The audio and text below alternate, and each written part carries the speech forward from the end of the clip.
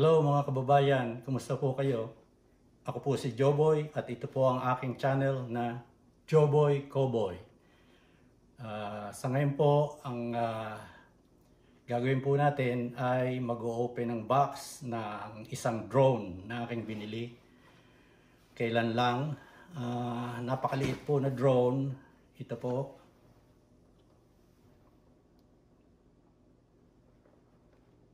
Ito po ang Tello Drone Iron Man Edition. Papakita ko rin po kung paano ninyong gagamitin ito at mga sample footage, video footage na kuha ng drone na ito. Buksan na po natin. GoPro, start recording.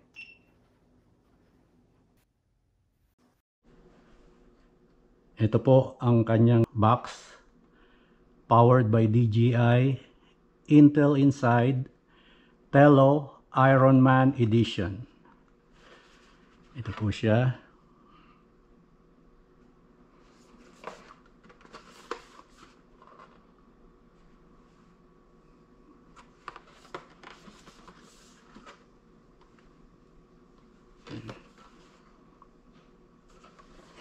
Sana po natin.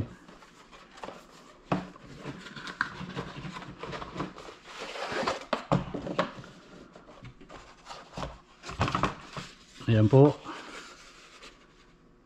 Ang napakaliit na drone na napakaganda. Maganda pong pangregalo sa nalalapit na mga holiday.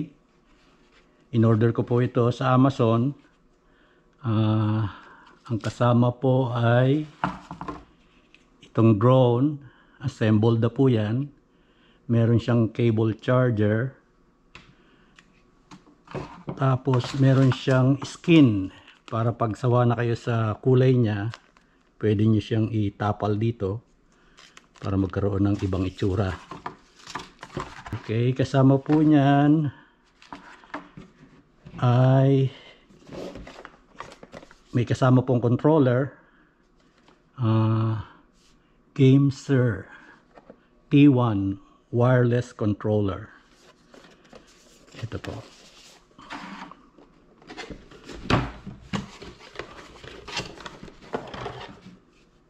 Ito po siya.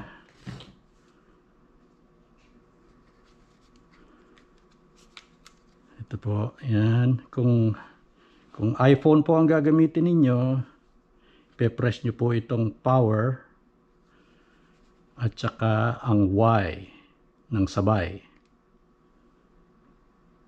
Okay. Uh, ready na po siya for programming sa inyong iPhone.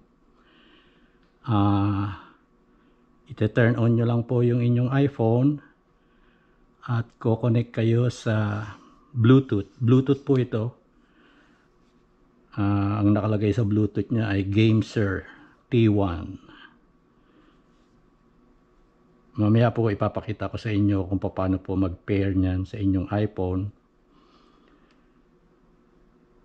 Uh, kung Android naman po ang gamit ninyo, ipe-press nyo po yung power button na nasa likod. Ito po. Kasabay ng A, letter A. See? Nagbiblink po yung Android icon doon sa ibaba na yon. Papakita ko rin po sa inyo kung paano nyong ipipair yan sa inyong Android phone para magamit ninyo itong uh, napaka-cute na drone na ito.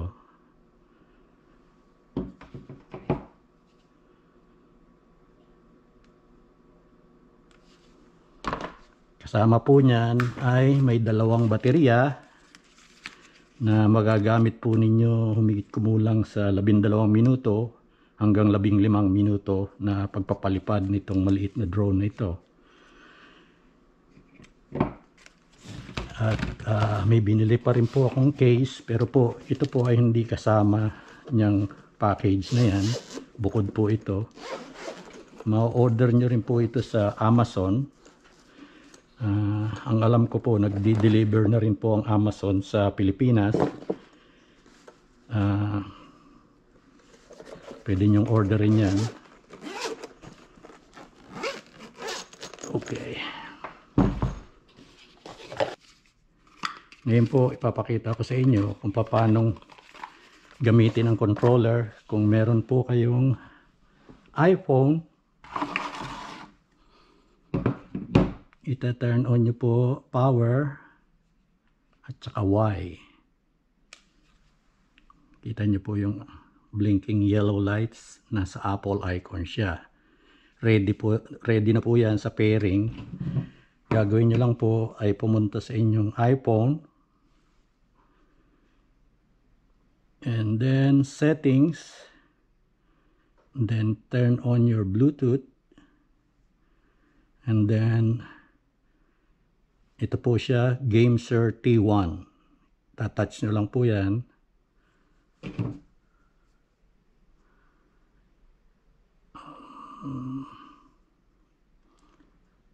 Okay.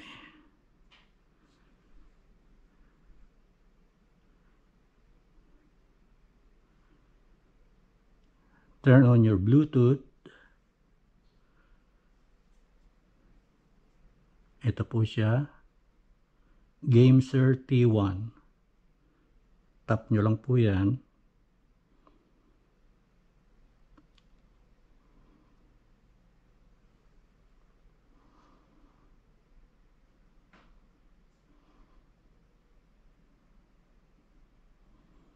Tagal mag-connect ah.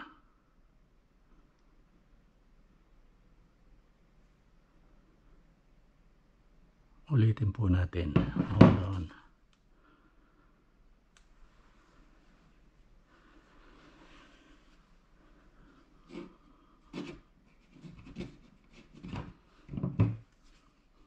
Ganito po ang pag-connect ng ah, controller sa inyong iPhone. Kung meron po kayong iPhone.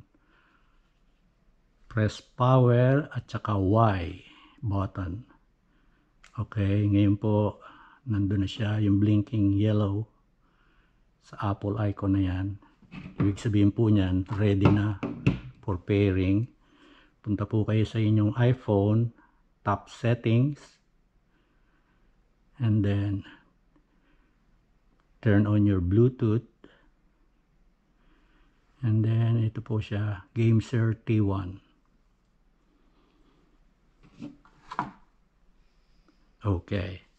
Ayun po, kumonekta na siya, connected. GameSir T1 connected. Mararamdaman ninyo po, medyo manginginig yung remote kapag connected na siya. Ngayon naman po, papakita ko sa inyo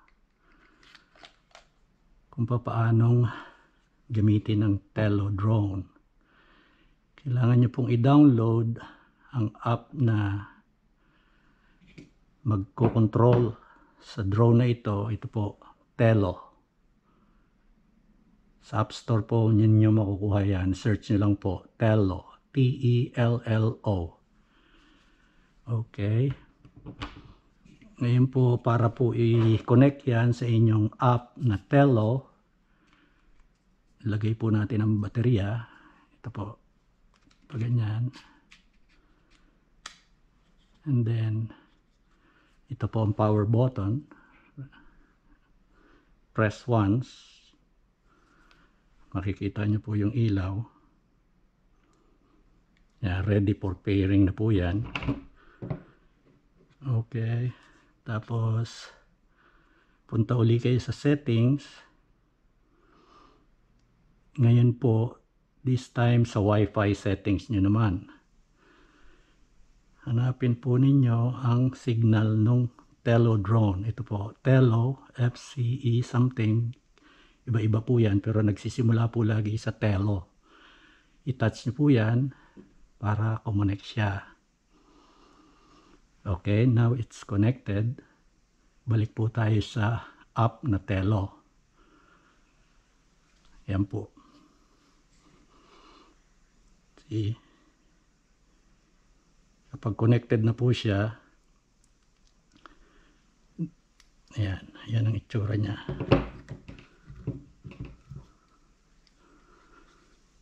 Ayan. Okay. Okay. Ngayon po, pwede po ninyong i-configure ang settings ng drone dito sa gear icon na ito. Andyan ang Bluetooth control set, controller settings. Tatouch nyo po yan, lalabas po dyan yung game share. Ngayon po, disconnected. Itatouch nyo lang po yan. Connected na po siya. And then, balik po kayo sa screen ng telo. Ito po ang control niya. Pwede nyo po siyang i-launch from dito sa icon na ito sa phone pero pwede rin po sa uh, controller. Programmable po itong controller na to. Ito pong sa akin ay pinrogram ko sa R2 ang kanyang uh, uh, take off and landing. Papakita ko po sa inyo ngayon kung paano siyang lumipad.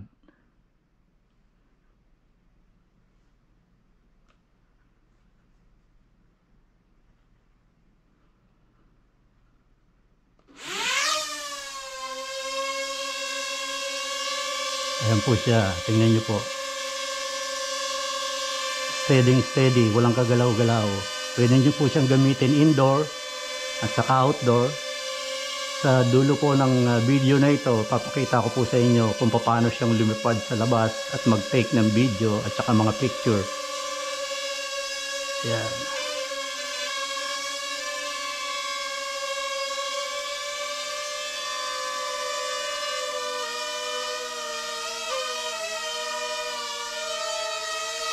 Ayan po.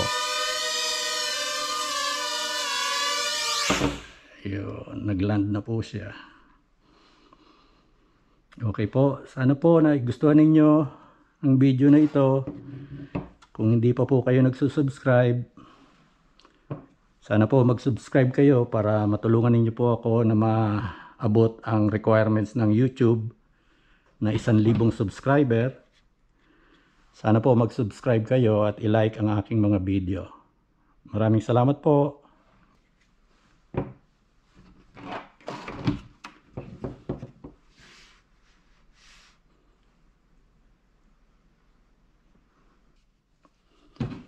Ngayon po naman ipapakita ko sa inyo kung paano i-pair yung remote control sa Android device o sa Android phone ninyo at saka ang drone. Kapag Android po ang inyong gagamitin, i-press nyo po yung power at saka A. Yan po. Nakita po nyo yung green lights. Nasa icon siya ng Android. Ready po yan for pairing sa Bluetooth ng inyong Android phone. Punta po kayo sa settings. Then Bluetooth. Ayun po siya. GameShare T1. Touch nyo lang po yan. Connecting. Okay. Pag nakita ninyo yung window na ito, pair with this device, touch nyo lang yung pair. Yun po. Kapag kumunik po siya, nanginginig po yung remote control. Ngayon po, pwede na siyang ilagay dito. And then, para naman po kumunik sa Wi-Fi ng drone, para makontrol nyo siya, punta uli kayo sa settings. This time sa Wi-Fi naman. Touch nyo lang po yan. Hanapin po ninyo yung Telo. Touch nyo rin po yan. And then touch connect. Now it's connected. Touch na lang yung okay. Pag lumabas yun. Okay. Ngayon po ang app na para sa Android po dyan ay the same. Tello. Meron po niyan sa Google Play Store. Dito po. I-download nyo po. Libre po yan. Tello. Touch nyo po yan.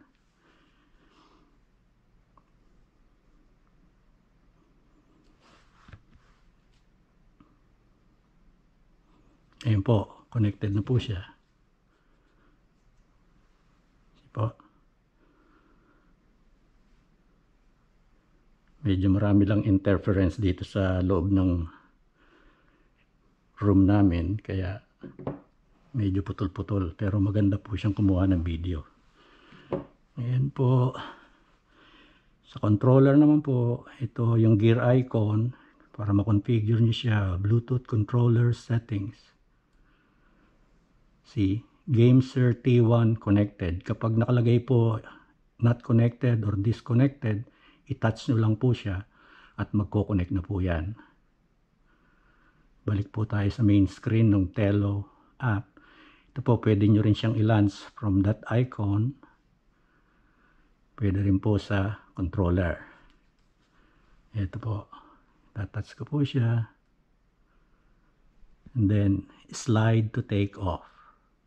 Yeah.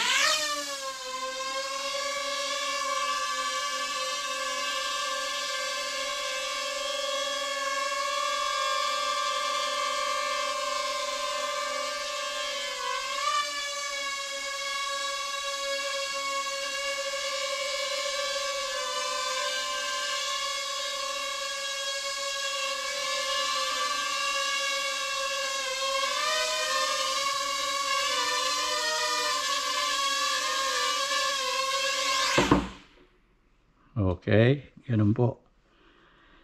Sige po, sana po ay maliwanag kong naipaliwanag ang paggamit ng drone na ito.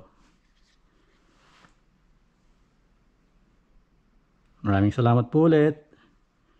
Please subscribe and like my video. Bye-bye.